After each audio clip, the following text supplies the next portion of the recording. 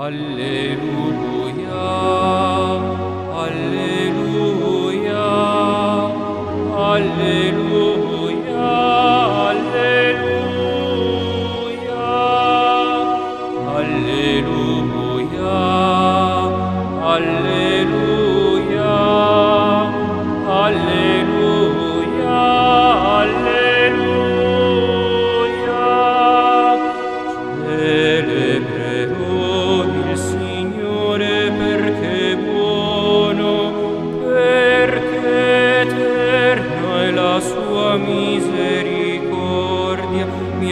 forza mio canto e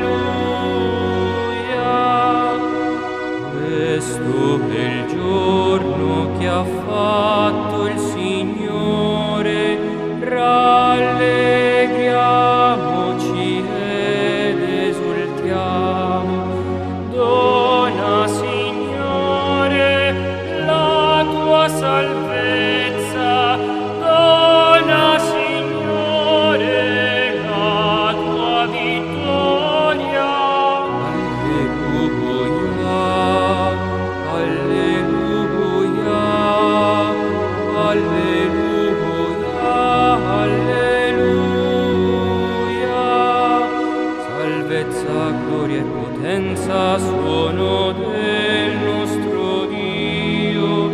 Veri e giusti sono i suoi giudizi.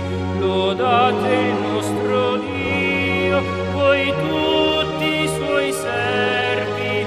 Voi che lo temete piccoli e grandi.